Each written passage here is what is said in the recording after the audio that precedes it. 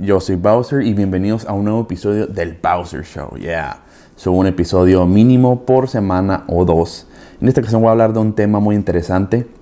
Ya tiene tiempo que varios adolescentes y niños me han escrito a mi, a mi Facebook, a mi Instagram y también en mi Xbox One, en mensajes.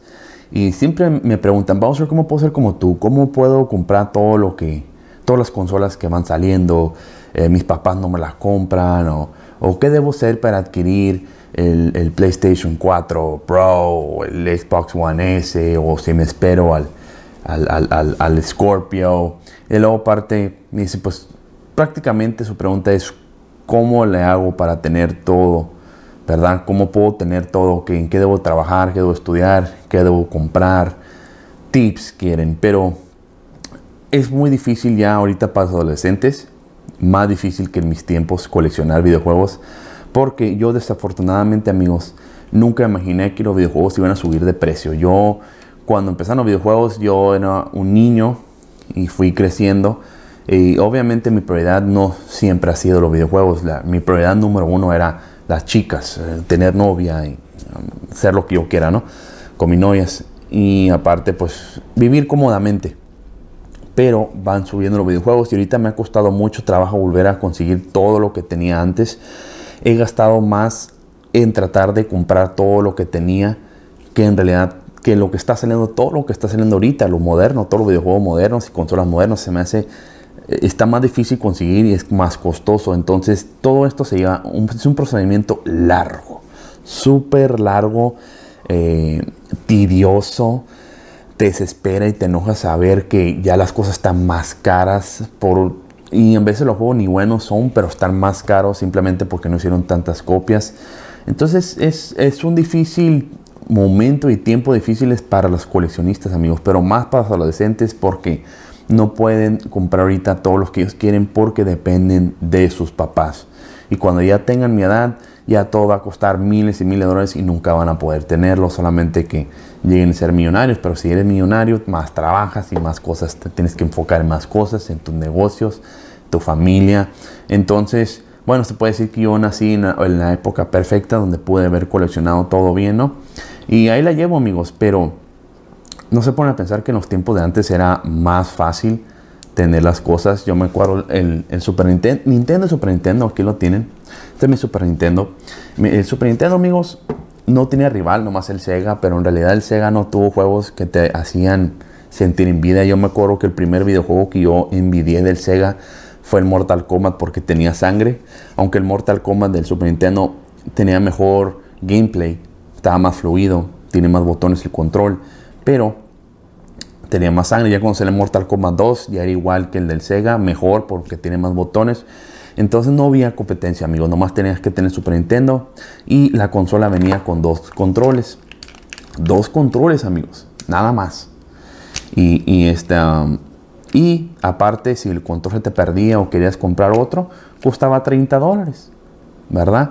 Y que viene siendo como un 60% de lo que costaban los videojuegos antes. Los videojuegos costaban 50 y los controles costaban 30.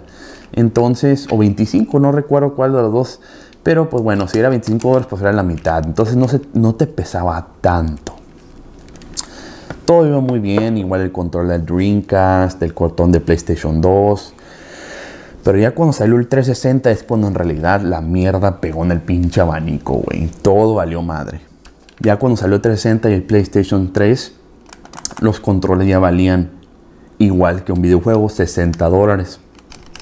Cuando salió el Xbox 360 y el Play 3, los videojuegos subieron, se aumentaron 10 dólares más. Entonces ya costaban 60 dólares. En Estados Unidos estoy hablando.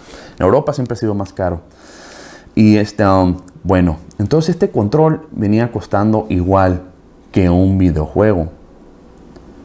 Es un videojuego se evaluaba más rápido que un control. El control siempre costaba 60. Los videojuegos, no importa qué tan buenos o exitosos hayan sido, bajan de precio. Todos los videojuegos lo hemos visto. Entonces ahí es cuando empezó el problema. Los gastos. ¿Verdad? Ok. Vamos a ver qué otra cosa pasó en la era del 360. Tenías que ya pagar por un servicio para poder chatear con tus amigos y tener internet No nomás cualquier internet, internet veloz, amigos. Ahora, hay muchas colonias ahorita que nunca van a tener fibra óptica. Ahorita, yo, para mí, es necesario tener fibra óptica para tener mínimo, mínimo 50 gigabytes o 40 gigabytes de velocidad, o megas dice. Ah, no, es megas. 40 o 50 megas. Puedes tener 10. Puedes jugar muy a gusto con 10. Pero si alguien más está viendo Netflix en, en, la laptop o en una televisión, olvídate, no se puede jugar Call of Duty bien, ni Battlefield, se te va a estar quebrando, a haber lag. Entonces, esos son los problemas por los que están pasando ahorita los adolescentes. Quisieran tener internet rápido. ¿Verdad? Esa es una. Dos, como les digo, yo ahorita tengo 200 megas de velocidad. Entonces puede estar mi mujer a un lado viendo Netflix, una película, mi hija también. No me afecta, pero cuesta. Cuesta dinero y tienes que estar en una buena zona que tenga eh, fibra óptica. En Estados Unidos no te tienes que preocupar por eso, pero si vives en Latinoamérica, olvídate. Es más, hay países que no ha llegado a la fibra óptica, eso te digo todo. O, que a lo mejor tienen, pero son para los, los negocios de que, del gobierno, como la Comisión de Luz, la Comisión del Agua, la Comisión de, eh, del Gas, o sea, para qué. Entonces ellos tienen que tener fibra óptica, pero la demás gente del pueblo no tiene. Entonces en mis tiempos nomás tienes que tener tu consola, dos controles venían con la consola y una televisión Ahorita les voy a mostrar la televisión en la que yo usaba. La última que usé para jugar lo que es Nintendo 64, ah, el PlayStation 2, PlayStation 1. Y ah, se me hace que el Xbox One, mis primeros años, también lo jugué en esta televisión. Aquí está, amigos. Esta fue mi última televisión que yo usé con el que jugué el PlayStation 1, Nintendo 64, el Xbox 360, nomás como por dos años. Entonces, como les digo, amigos, las televisiones eran más grandes, tenían sus bocinas, ya sea aquí o acá, grandísimas y tenía muy buena calidad. Y no importaba si, si no, era, no daba tan buena imagen, simplemente con que sirviera. No, ahorita los videojuegos requieren HD o 1080p o 4K o HDR. En esos tiempos no, amigo, no me ocupaba la pura televisión y tu consola y ya eres feliz con eso.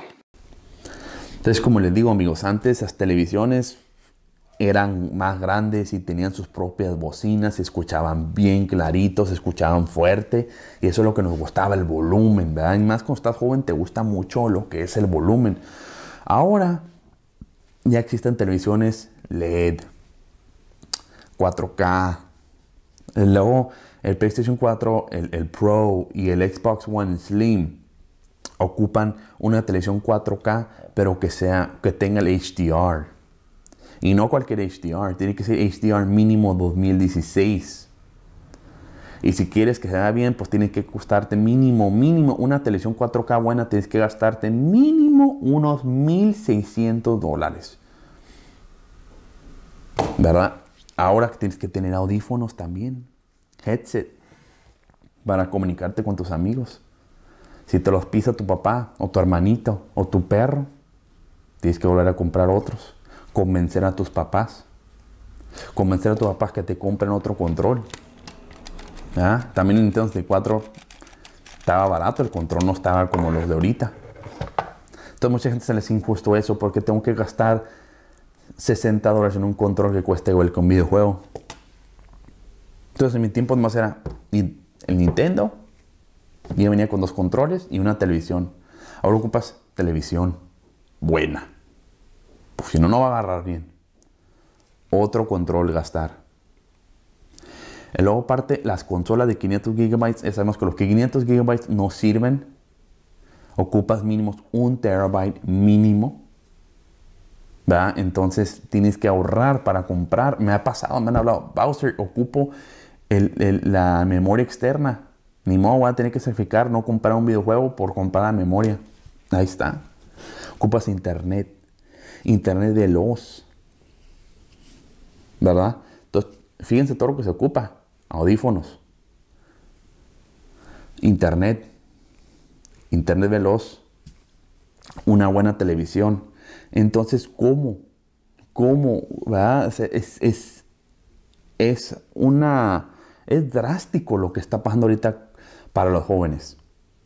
En mis tiempos éramos felices con un Nintendo y una pinche televisión. Sotema, me acuerdo mi mamá que me regaló una televisión de la sala que ya ni quería porque se compró una nueva, que es la que ahorita les mostré. Eh, y, en esa televisión sota con unas bocinotas no se veía wow, así que digas wow. Pero era una televisión sota de 36 pulgadas y antes las de 36 pulgadas estaban así, pesaban como yo. Y ahí jugué, el, me acuerdo, el, el, Metal Gear Solid y el, y el Ocarina of Time. Wow, escuchaba las canciones del Zelda Ocarina of Time. wow, qué tiempos. Pero ahora ocupas una buena televisión. Entonces, sí, los, chamacos de hoy, los jóvenes, están pasando por un momento bien drástico. Luego, parte ahorita está la mercadotecnia.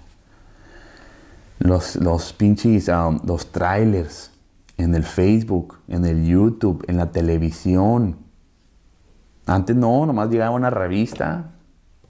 Había nomás como dos revistas de videojuegos en mis tiempos. De vez en cuando sale un comercial, pero ahorita no, en todas partes están los videojuegos, ya no sabes qué comprar, no sé si decidirte, el año pasado no saben si decidirse en el Call of Duty o en el Battlefield o en el Titanfall o en el Gears of War, no saben si todavía no saben si comprar el Xbox One S o el PlayStation 4 Slim, o no saben si comprar el Pro, no saben si esperarse al, al pinche, al Scorpio, y luego parte acaba de salir el Switch. Cada vez está más difícil amigos. Y va a estar más difícil todavía cuando crezcan, que tengan que estudiar, tengan que trabajar, no van a tener tiempo. Por eso tienen que elegir un buen trabajo, un trabajo que tengan mucho tiempo extra, tienen que tener su propio negocio para que tengan gente trabajando por ustedes, para tener tiempo extra, para poder invertir en los que a ustedes les gustan, no nada más los videojuegos.